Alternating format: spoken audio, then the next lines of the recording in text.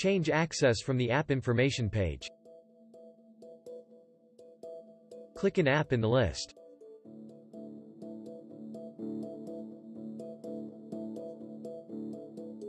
Then click Access to Google Data.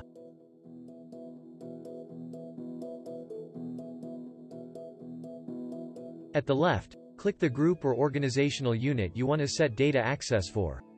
By default, the top organizational unit is selected and the change applies to your entire organization.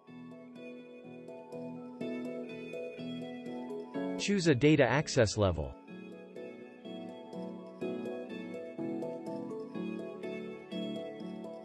Click Save.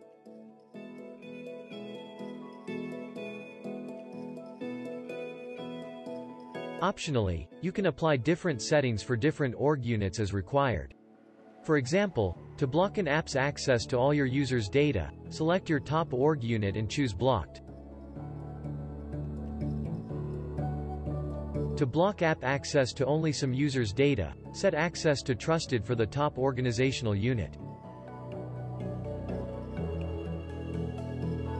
And blocked for a child organization unit containing those users.